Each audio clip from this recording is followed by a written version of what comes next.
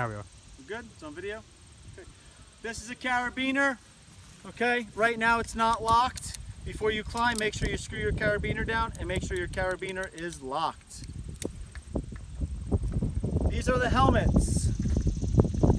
Okay, this one was a little tight, so to loosen it up, I'm going to push and twist and push and twist.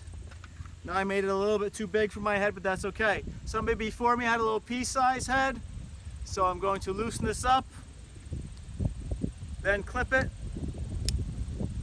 and then tighten it. But it's still a little bit loose, so I push and twist, push and twist, push and twist, that's on. Keep rolling. Here's the harness. Step through. Somebody before me um, had a small waist, so push the metal clip forward, and this belt should slide through. Slide through again here. Once again, somebody has some skinny legs before me, but mine can fit.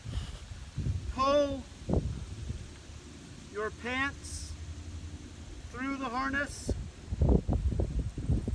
Make sure the waist goes above your hips. I'm going up. Pull forward and slide back.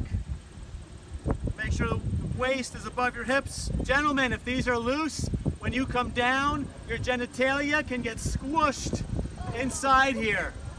Yes, I'll teach that lesson once. Hopefully you don't have to learn it again. So you might have to make sure that you are properly adjusted.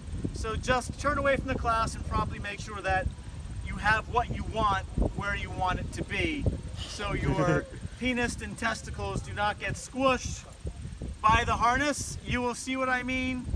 Um, hopefully, hopefully you won't. So the blue's in the front, this is in the front. Uh, if you have any questions, let me know.